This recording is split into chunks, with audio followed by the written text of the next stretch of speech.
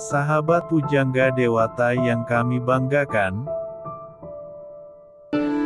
Hari Sabtu tanggal 23 Juli tahun 2022 kami tim YouTube Pujangga Dewata sedang jalan-jalan di Pantai Padang Galak Kesiman Bali.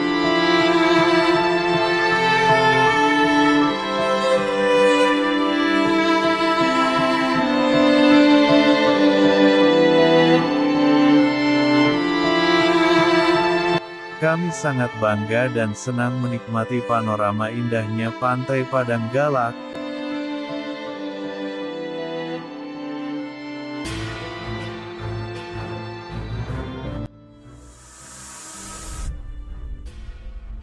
Kebetulan di area tersebut diadakan lomba layang-layang berbagai jenis.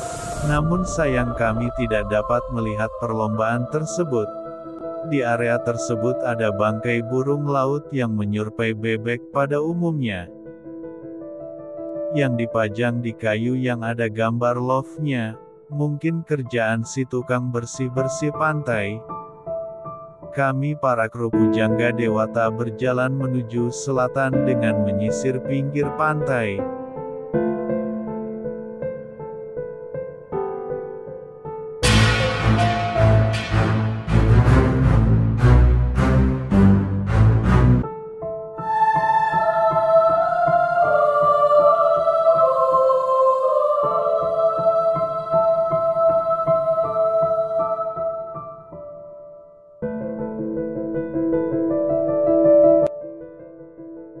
Sampailah kami di area Pelabuhan Sanur.